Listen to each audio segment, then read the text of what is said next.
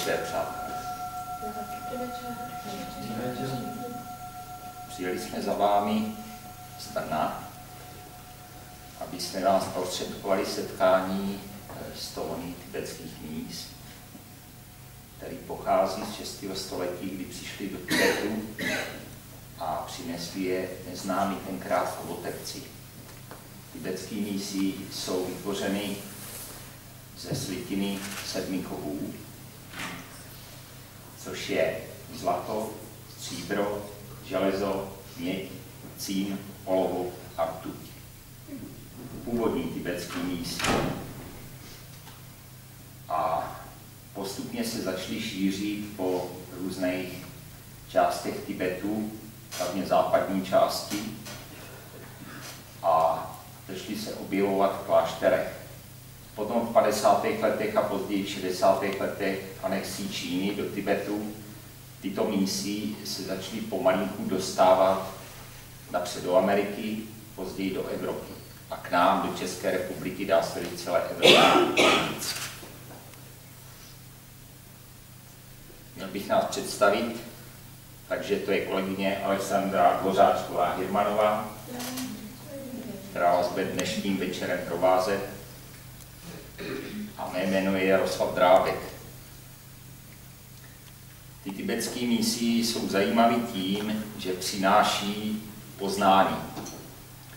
To poznání může být různou formou, protože vytváří takzvané alipotní tóny, který se liší od normálních tónů, jaký jste zvyklí od různých nástrojů, tak jsou to vlastně ty neslyšitelné tóny, které obsahují vibrace, které působí na celý organismus. Takže není o tom, co slyšíte, ale co vnímáte. Jo.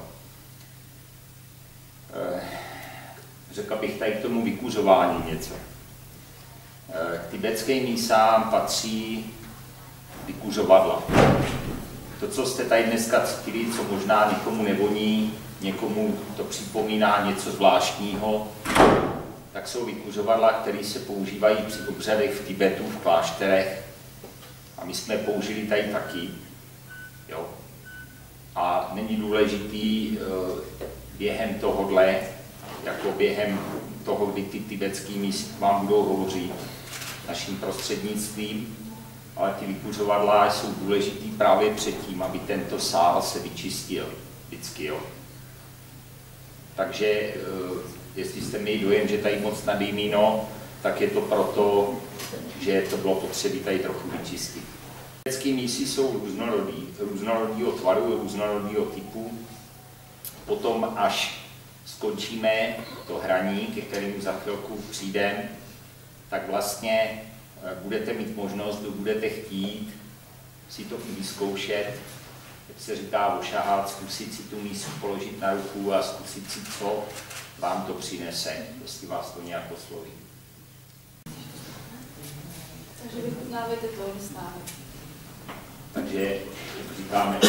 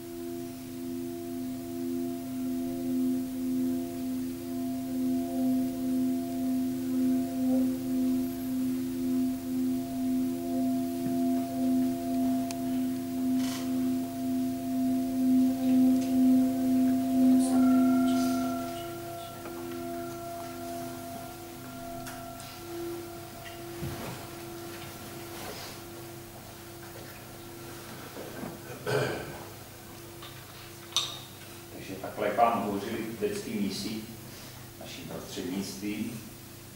A teďka je prostor na vaši nějaký, jestli máte dotazy, chcete si zeptat něco. Možnost.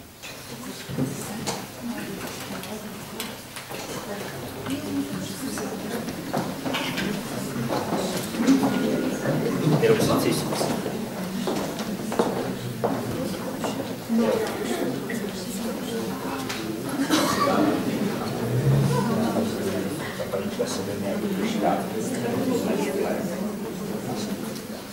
Thank